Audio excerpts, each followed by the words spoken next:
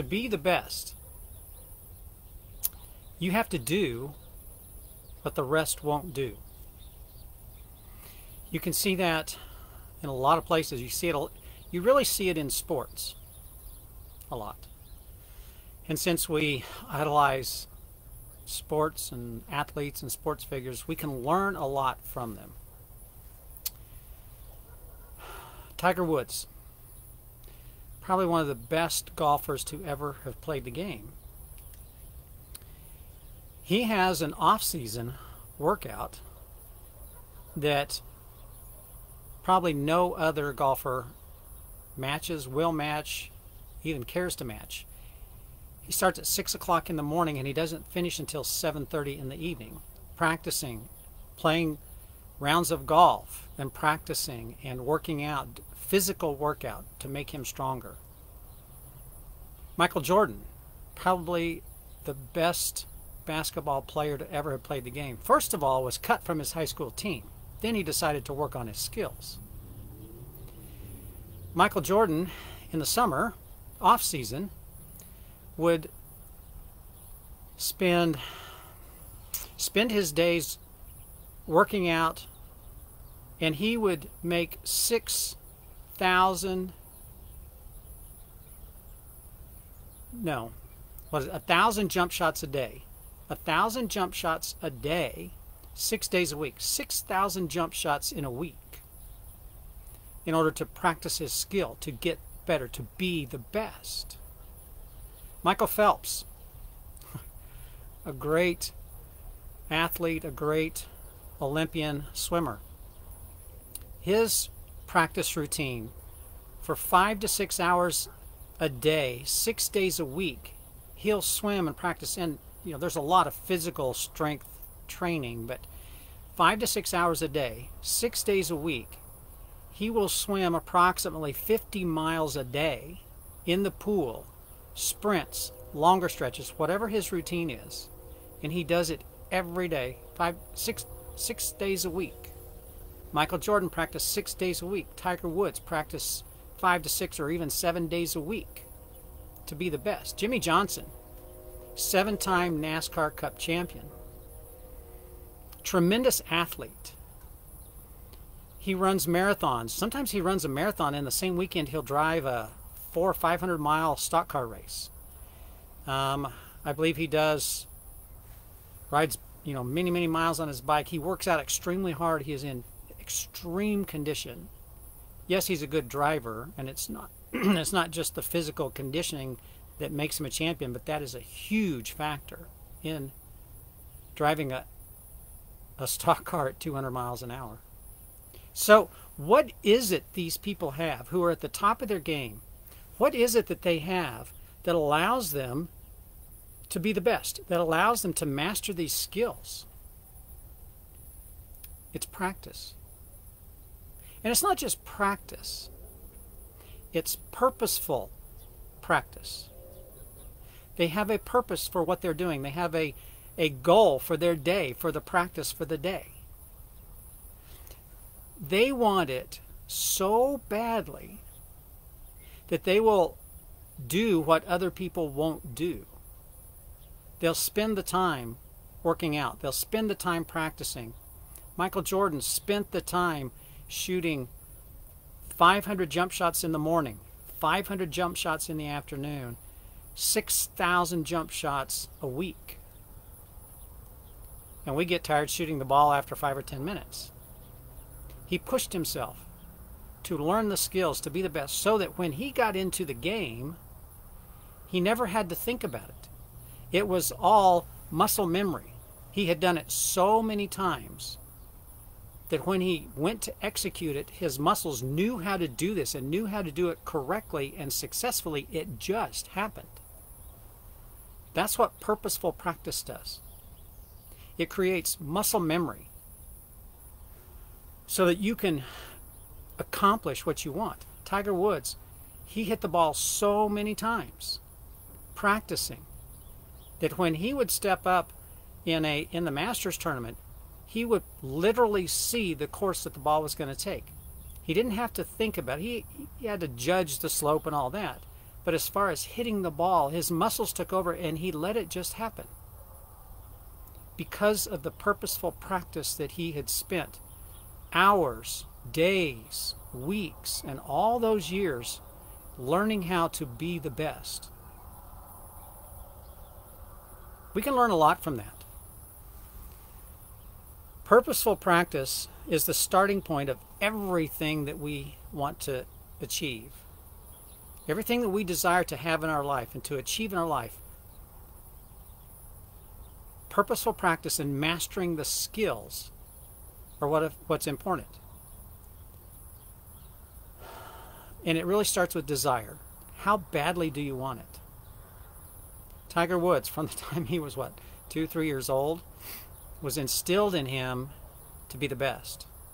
And he grew up wanting it so badly to be the best. Michael Jordan, after getting cut from his high school basketball team, said, That's not going to happen again. I can play this game. I will be the best.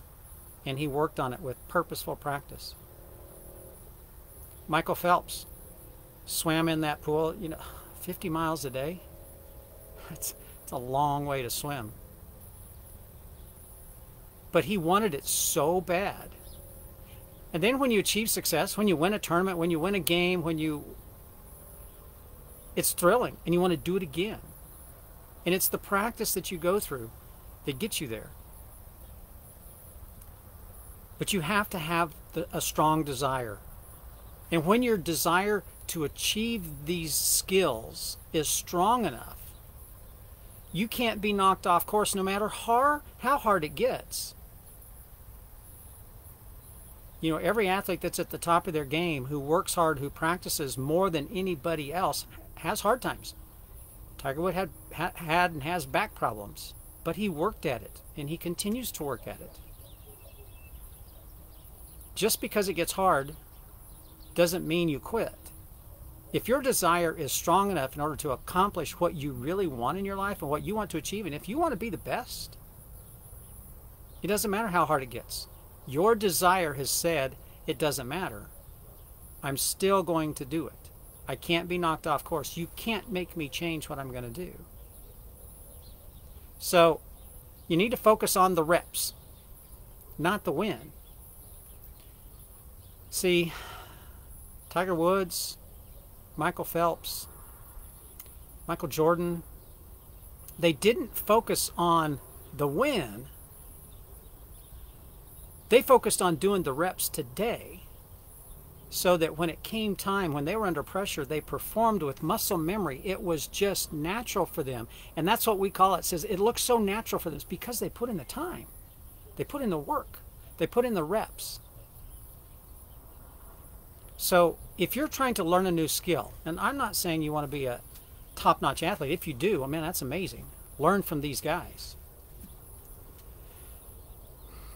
But if you want to be top-notch at what you do in your business, maybe you're a salesman and you want to be the best salesman. You got to put in the reps. You got to go make the sales. You got to go learn how to make successful sales and do it over and over and over. And you'll fail. That's okay when Michael Jordan was shooting 500 jump shots every morning, he didn't make them all.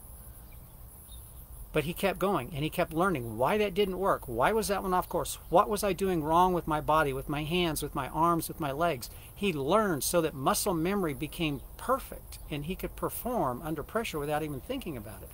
If you want to perform at the top levels, you need to put in the reps. I grew up on a farm. And in the fall, about this time of year, actually, we would plant wheat. Spring wheat, we would plant it in the fall, and it would hopefully come up in the fall and go dormant over the winter, and then grow in the spring and harvest in the summer. And then in late spring, early summer, we would plant corn or, or milo for harvest in the fall. When a farmer plants a seed, he doesn't spend time while he's driving the tractor planting the seed thinking about the harvest to come. Oh, it's going to be a great harvest.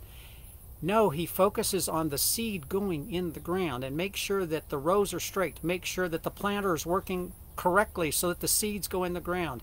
He's making sure that this process happens. Because if you don't put the seed in the ground, you don't put it in correctly, you don't put it in at the right time, you don't put it in every year, you'll never have the harvest. If you just focus on the harvest, you'll never get there. You have to focus on putting in the reps, putting in the seed, and the other things for farmers, make sure all your equipment works, fertilizer and all those things. But you have to focus on putting the seed in the ground first before you can ever get to a harvest. When you put in consistent action for what you want with with the ultimate destination of where you're headed in mind. So, yeah, a farmer plants a seed with knowing he's headed towards his harvest, but he's not focused on the harvest when he puts the seed in the ground. He's focused on putting the seed in the ground. When you're learning a new skill, if you're a, if you're a if you're a salesman in your business, salesperson in your business, focus on learning how to make sales and going out and doing it. Doing it again and doing it again.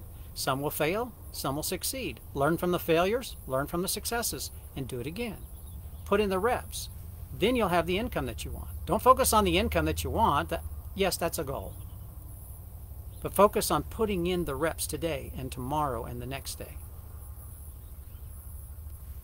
If you put in consistent action, knowing where you're headed, knowing what the goal is, and focus on doing today all those things you need to do today, which I call the seeds and not the harvest, the outcome will take care of itself. You'll get to where you're going. If you focus on doing the reps today, if you focus on putting the seed in the ground today, the harvest will take care of itself. I'm Mark Schinnerer. This is your Wednesday Wisdom, and I hope you have a wonderful day.